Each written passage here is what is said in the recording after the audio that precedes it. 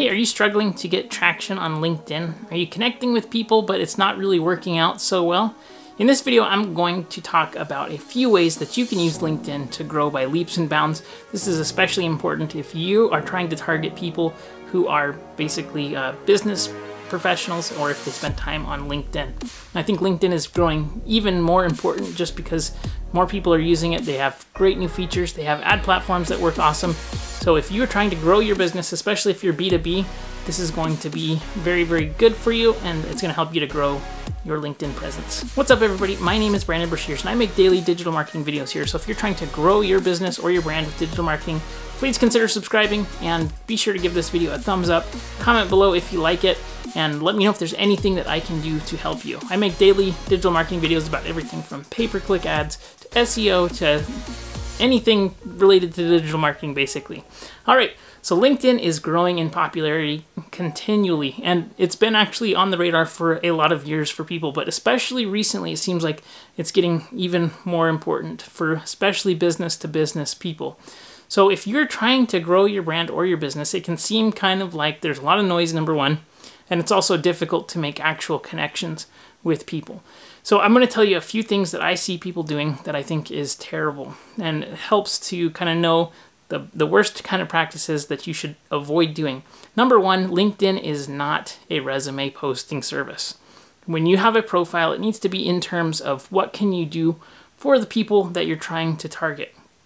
So, for example, if you say, hey, I'm the VP of sales at so and so, and you just put your title there. I think that having your title is good potentially, but if you want to, you know, have the, the byline, make it, you know, I am help so target market achieve end result that you're trying to do, right? So that is helpful, number one. If you frame what you do in terms of how you help people, when you send a connection invitation, you're going to be able to see right away, hey, I help veterinarians attract new clients and customers. Like that's for, for me, right? My target market is veterinary practices or I help small businesses grow with digital marketing, right? So what is that the end goal that I am looking to help my customers and clients with? And if you frame it in that kind of a term, it's going to be helpful. The other thing is in your bio, people typically use it kind of like a very boring resume. So when people, when you send a connection request, a lot of times people will click on your profile, they'll take a look and they'll read your bio. And so it's important that, again, you frame that in terms of what you can do to help people. So um, don't use it as a resume. That's very, very boring, and that's what most people do.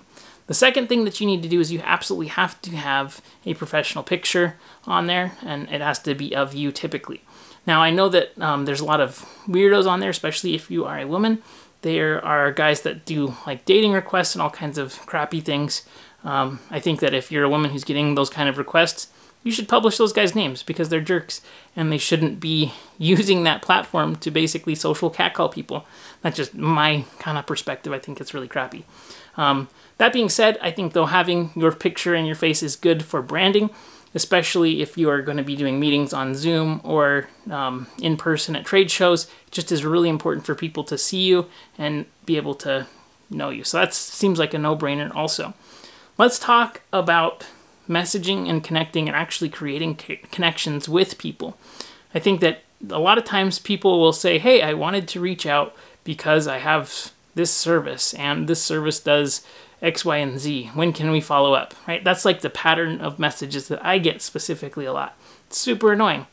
People are basically taking your inbox and they're putting their um, agenda at hand and they're like, hey, here's what I do. I want you to be a client and I want, I want, I want, right? It's not a value proposition whatsoever. So, um, one of the niches that I work in is the veterinary industry. I work with um, veterinarians, and so my messaging and the content that I put out I spend a lot of time creating content. So I say, hey, my name is Brandon. I have a podcast that helps veterinary practices attract, engage, and retain clients.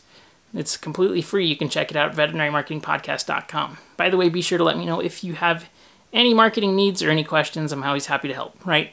So I'm not saying, hey, I do AdWords. You want to buy my AdWords? I'm offering value in advance and building out a connection with a person. Pe- people will typically say, oh, thanks. You know, I'm pass that forward to my practice manager, or that's awesome, I'll go check it out. And then I follow up typically and say, hey, just wanted to see how it was going. Do you do any digital marketing? Are you trying to grow your, your business or your brand with digital marketing? And so they'll sometimes respond. Um, and if they do respond, I typically then offer again another resource, which is, by the way, I have a free uh, Facebook group where people collaborate and they talk about marketing. You can get help, ask questions, answer questions. It's a great place filled with about 750 veterinary professionals, and then send a link to that. So again, I'm not going in for the quick sale, right? It's the long game. I know that it typically takes a long time, especially for an industry like the veterinary industry, um, where the sales cycle is longer just because people are super busy. It's a, an old-fashioned, slower industry, and um, so if I try to rush the sale, I'm just going to come off spammy. So depending on what your business is like, it's important that you're offering value in advance and really trying to build a connection and get an understanding of what these people are like. I think that if you just approached it like you would a networking event instead of just like a, a pitch fest, right? You're when you when you're actually at a networking event where there's interesting people and you're trying to connect and help them, you're going to not just be like, "Hey, I do AdWords. Buy, buy my AdWords." you should buy my AdWords. Or, you know, hey, I sell pharmaceutical equipment. You should buy my ultrasound. Or, hey, you know, I sell whatever it is that you sell. Try to get an understanding of what they're looking for, how you can help them, and what are their, their main needs and their wants. And then having resources like content that you can use to push people to content to further the relationship is going to be really, really helpful. So that would be my number one suggestion is don't try to rush the sale, actually try to build a relationship and don't just go for the quick score, but build a, a relationship that lasts. I would love to know though, what is your favorite thing about LinkedIn? Um, I totally think video is amazing there. You should be posting content specifically on LinkedIn. Um, but I would love to know what your thoughts are. Be sure to comment below with any thoughts that you have. And if you need help with anything, comment below. I'm always happy to help, and I hope that you have a fantastic day. Be sure to subscribe here for daily marketing videos, and I'll see you on the next one. Have a great day, everybody.